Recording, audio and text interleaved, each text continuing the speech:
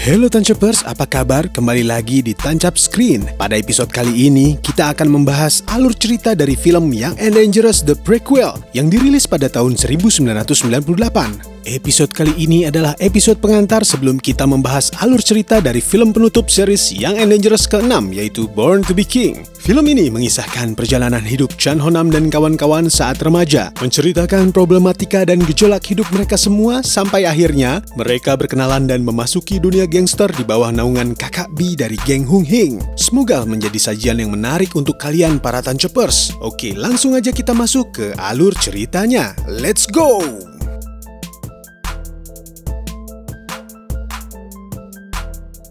Suatu hari di tahun 1989, seorang remaja bernama Chan Ho Nam bersama sahabatnya yaitu kakak beradik Chow Pan dan Po Pan sedang bermain bola di lapangan sekolah. Chan Ho Nam tak sengaja menendang bola mengenai anggota triad dari geng Hung Hing bernama Kwan. Mengetahui Honam tak terkait dengan kelompok triad mana pun, Kwan meminta Honam dan kawan-kawan menyetor sejumlah uang padanya sebagai dana keamanan. Honam menolak dan melawan sehingga hal itu membuat Kwan marah. Beruntung, Honam dan kawan-kawan diselamatkan oleh anggota Hung Hing lainnya bernama Kakak B. Karakter Kakak B yang simpatik membuat Honam terkesan.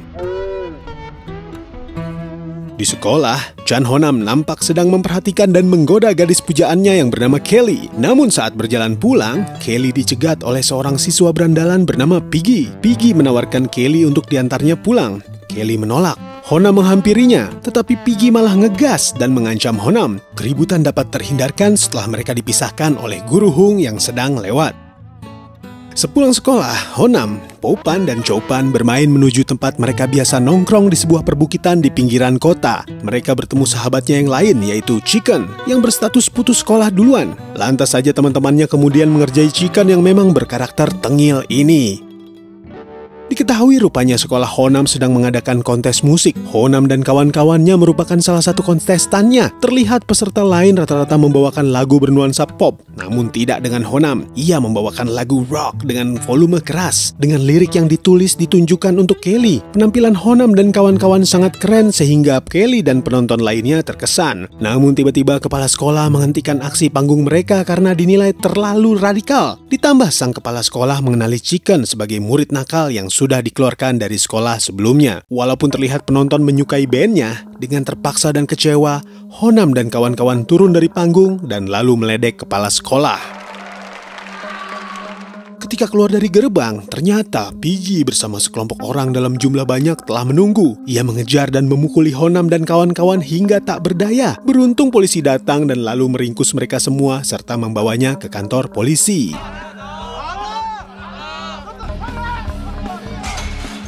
Di kantor polisi, Honam diinterogasi. Polisi menuduh Honam sebagai anggota triad, namun Honam menolak tuduhan tersebut. Honam ditempatkan satu sel bersama Piggy sambil menunggu bosnya menembusnya. Piggy yang masih dendam kembali memanas-manasi dan menantang Honam. Keributan kembali terjadi.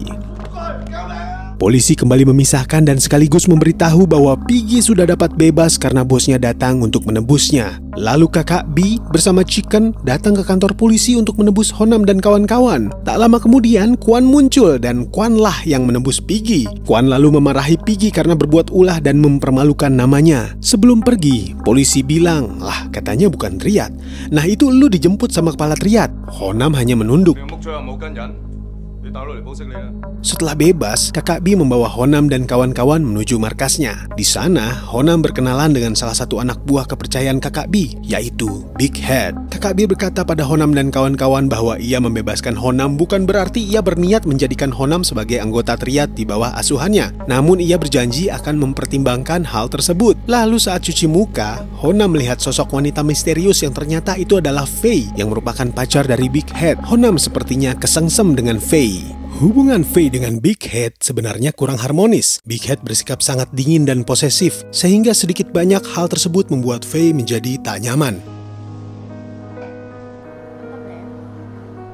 Keesokan harinya, Honam dan kawan-kawan yang kini juga drop out dari sekolah berkumpul di tempat kediaman Honam di sebuah rusun kumuh. Honam tinggal di tempat tersebut hanya berdua dengan neneknya tentang bagaimana asal-muasal Chicken hingga dapat bergabung menjadi anggota triad di bawah kakak B. Chicken menjawab seperti halnya kejadian kemarin dalam sebuah pesta, ia terlibat perkelahian dan dipukuli. Namun tiba-tiba ia diselamatkan oleh kakak B yang membawanya pergi dari tempat tersebut. Sejak saat itu ia memohon pada kakak B untuk dapat mengikutinya dan akhirnya kakak B pun menyetujuinya. Selepas obrolan tersebut, Hona mencoba menelpon Kelly. Ia beralasan ingin mengetahui siapa pemenang dari kejuaraan musik di sekolah. Lalu tiba-tiba ibunya Kelly mengambil alih telepon. Ia melarang Hona menghubungi putrinya lagi atau ia mengancam akan lapor polisi. Kemudian neneknya Honam pulang dari berbelanja. Lalu ia mengabarkan pada Honam bahwa ibunya sudah tahu Honam dikeluarkan dari sekolah dan ibunya ingin bertemu dengannya sekarang. Segera Honam pergi ke rumah ibunya. Di sana, ia disambut oleh adik-adiknya yang mengajaknya main. Namun ketika ayah tirinya pulang, Honam nampak canggung. Lalu ayah tirinya mengajak Honam berjalan untuk mengobrol. Dari obrolan tersebut, diketahui bahwa Chan Honam tidak rela dan mengizinkan ibunya untuk menikah lagi selepas kematian ayah kandung Honam. Ayah kandung Honam adalah seorang triad. Ia meninggal dalam sebuah perkelahian antar geng. Dan yang menyaksikan ayahnya sekarat adalah ayah tirinya yang kebetulan bekerja sebagai petugas ambulans. Maka dari itu, ibu dan ayah tiri Honam amat sangat khawatir jika selepas Honam keluar dari sekolah, dirinya akan mengikuti jejak mendiang ayahnya sebagai anggota triad. Honam hanya merenung, lalu pergi menemui ibunya untuk makan malam bersama. Namun sepertinya segala bentuk nasihat tersebut sudah terlambat. Honam telah memutuskan jalan hidupnya sendiri, yaitu menjadi anggota triad. Nenek Honam hanya bisa pasrah dan mendoakannya agar sukses dan selalu dilindungi Tuhan.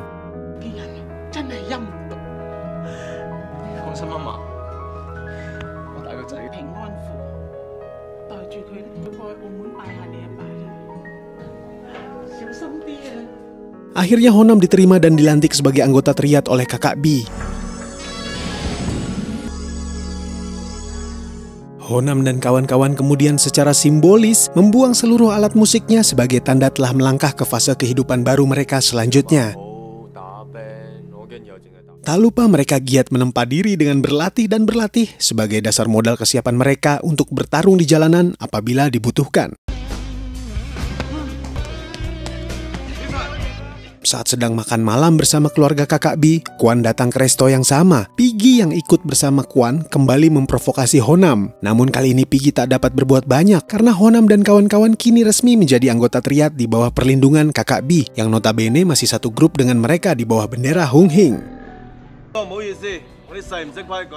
Keesokan malamnya, Honam dan kawan-kawan menjalani misi pertama, yang mana mereka hanya diminta kakak B menemaninya untuk berdialog dengan salah satu kepala gangster dari geng rival mereka yaitu geng Tungsing. Kepala gangster tersebut bernama Bill. Jadi Bill ini menjalankan bisnis kontraktor di wilayah Hung Hing. Maksud kedatangan kakak B adalah meminta jatah pembagian kontrak kerja dikarenakan itu adalah wilayah Hung Hing dan mereka berhak mendapatkannya. Namun sepertinya negosiasi berjalan buruk. Bill pergi meninggalkan kakak B yang terlihat tidak senang. Keesokan harinya, Honam tak sengaja bertemu Kelly. Momen ini sekaligus dimanfaatkan untuk menyampaikan salam perpisahan untuk Honam karena ia akan melanjutkan sekolah di Inggris. Honam patah hati. Lalu saat berjalan dengan kakak B, Honam dan kawan-kawan diberikan ujian pertamanya, yaitu memukuli dua orang mucikari yang sedang nongkrong dengan wanita. Saat ditanya alasannya kakak B hanya berkata bahwa ia cuma tidak senang dengan tampang kedua orang itu. Tanpa pikir panjang, Honam dan kawan-kawan menurut dan menghajar kedua orang tersebut tanpa ampun hingga polisi datang untuk melerai. Kemudian di tempat spa, Chicken dan Popan menanyakan tato di tubuh kakak B. Kakak B mengatakan bahwa tato menjadi hal penting yang menandai identitas seorang gangster dan identitas itu akan mengikuti hidup mereka selamanya.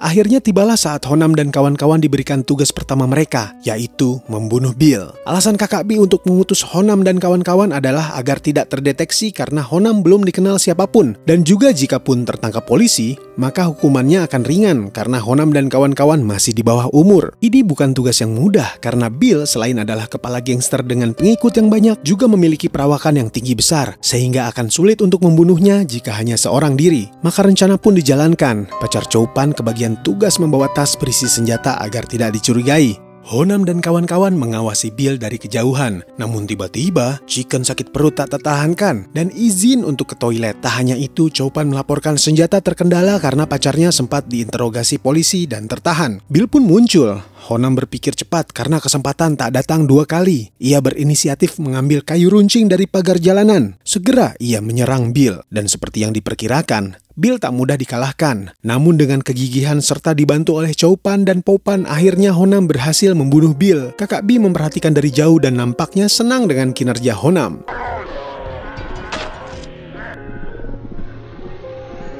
Chicken yang baru keluar dari toilet berteriak dari kejauhan.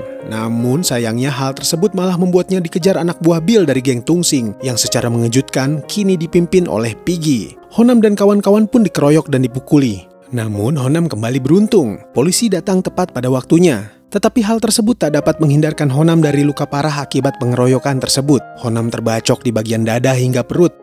Setibanya di rumah neneknya, Honam pun diobati. Rasa sakit yang tak tertahankan lagi membuat Honam berteriak. Chicken berinisiatif memberikan Honam narkoboy agar dapat menenangkan dirinya. Honam pun terlelap dengan mimpi buruk.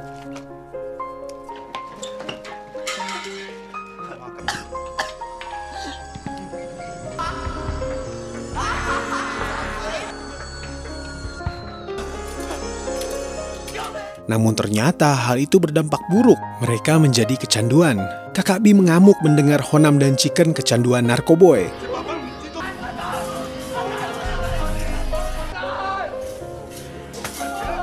Setelah diobati, kakak Bi menasihati Honam agar menjauhi narkoboy karena itu bisa sangat merusak dan berbahaya. Honam menyadari kesalahannya sekaligus juga kakak Bi meminta Honam mengasingkan diri dahulu sebab geng Tungsing dan polisi sedang mencarinya terkait kematian Bill. Kakak Bi akan mencoba berbicara dengan ketua geng Tungsing yaitu Camel Lock dan jika keadaan sudah kondusif, Nam dapat kembali. Dalam pengasingan, tanpa sengaja Honam bertemu dengan Faye, pacar Big Head. Faye rupanya dalam keadaan galau karena ia bertengkar hebat dan dipukuli oleh Big Head. Honam menenangkan Faye dan hubungan mereka menjadi semakin dekat hingga akhirnya Honam yang sedari awal sudah menaruh perhatian dengan Faye mendapat sambutan hangat dari Faye. Keduanya kini saling mencintai.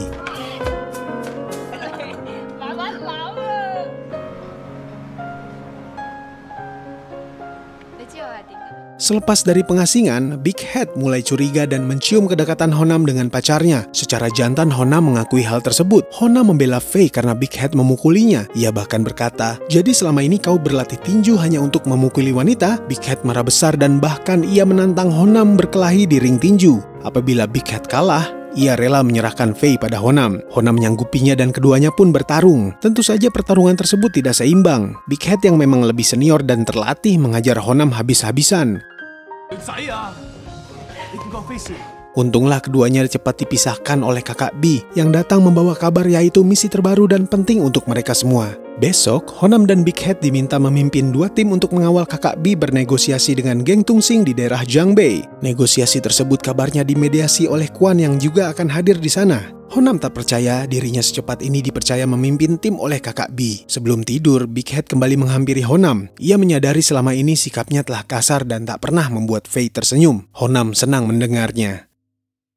Keesokan harinya saat berangkat, Honam mendapat pesan bahwa saat ini ibunya dilarikan ke rumah sakit. Namun Honam tak dapat berbuat apa-apa karena ia sedang menjalani misi penting.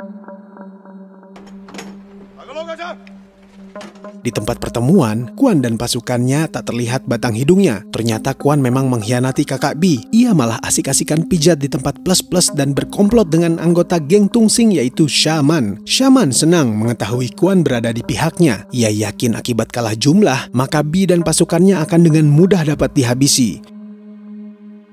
Benar saja, saat sekelompok orang turun dari mobil, pada awalnya kakak B mengira itu adalah Kwan dan pasukannya. Namun ternyata itu adalah Piggy bersama pasukan geng Tungsing yang berjumlah sangat banyak. Menyadari dalam bahaya, kakak B pun segera diamankan untuk dapat pergi dari tempat tersebut secepatnya.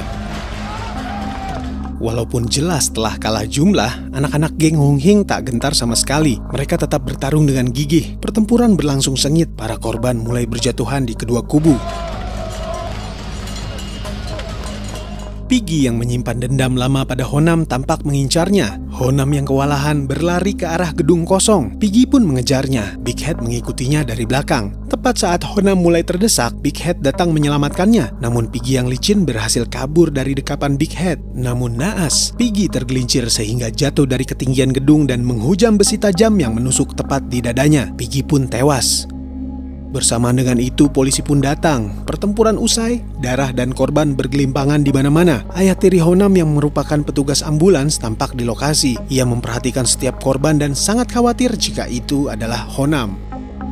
Ternyata Honam telah berada di rumah sakit tempat ibunya dirawat. Namun sayang, Honam terlambat. Ia harus mendapati kenyataan pahit bahwa ibunya telah meninggal. Honam sangat terpukul. Begitu pula ayah tirinya yang datang menyusul. Mereka berdua menyesali kenyataan bahwa mereka tak dapat mendampingi ibunda Honam di saat-saat terakhirnya dikarenakan keduanya harus berada di tempat yang sama, yaitu arena pertempuran geng Hung Hing dan geng Tung Sing, namun dengan tugas yang berbeda.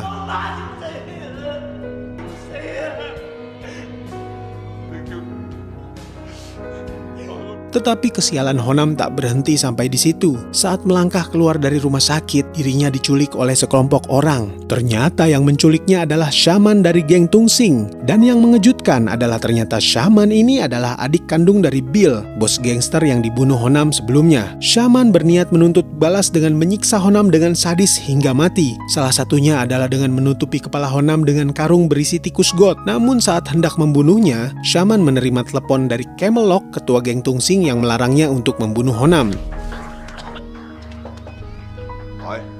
Kakak Bi yang mendengar Honam diculik tak tinggal diam. Ia tahu ini semua tak lepas dari ulah Kwan yang mengkhianatinya. Ia pun menyusun rencana penyelamatan Honam dan menuntut balas. Pertama-tama, ia meminta dukungan dari para kepala cabang Hung Hing lainnya seperti kakak Kei. Namun ternyata, ia tak mendapat tanggapan serius. Walaupun ia sudah menjelaskan ini akibat ulah Kwan yang berkhianat dan bekerja sama dengan shaman dari geng Tungsing, namun tetap saja ia diacuhkan. Malah Kei berkata apalah artinya seorang anak buah. Bila mati pun dapat diganti dengan anak buah lainnya. Namun kakak Bita sependapat, baginya anak-anak buahnya sudah seperti anak kandungnya sendiri yang akan ia bela mati-matian kalau perlu. Maka kakak Bi pun bergerak sendirian. Ia mendatangi markas besar Tungsing dengan gagah berani, hanya ditemani oleh beberapa anak buahnya termasuk Big Head, Chicken, Chopan, dan Popan. Ia lalu dihadang para anggota geng Tungsing dalam jumlah banyak. Shaman pun keluar. Walau sedikit mengancam, ia memuji keberanian kakak Bi. Kakak Bi akhirnya masuk ke dalam dengan hanya diizinkan ditemani oleh Chicken dan Po.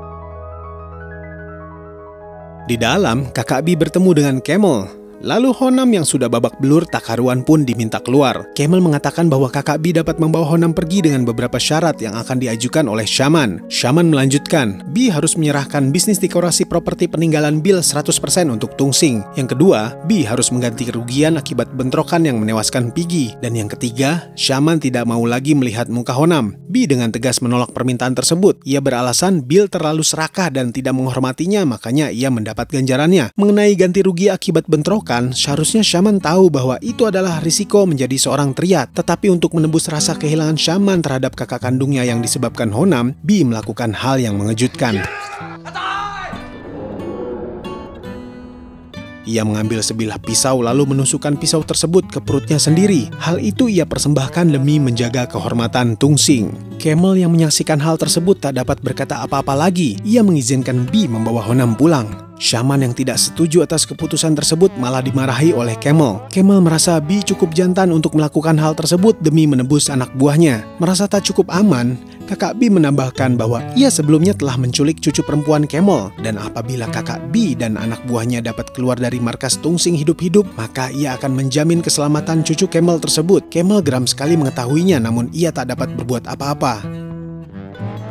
Rencana kakak Bi yang selanjutnya pun mulai berjalan. Ia menjebak Kuan dengan memanggil polisi saat Kuan sedang berjudi di tempat ilegal serta kedapatan memacari dan meniduri gadis di bawah umur. Akibat hal tersebut, Kuan harus menjalani hukuman tiga tahun penjara.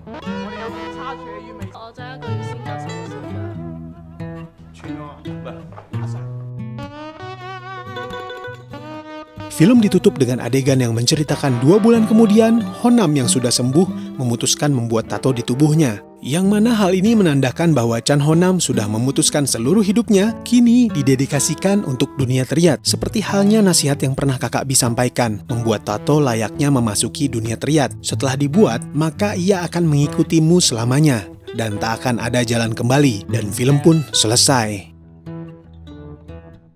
Oke Tancepers, demikian episode kali ini. Jangan terlewat, saksikan alur cerita film penutup dari series Young and Dangerous yaitu Young and Dangerous ke-6 Born to be King yang akan tayang di channel kesayangan kalian semua, Tancap Screen. Sampai jumpa di next episode.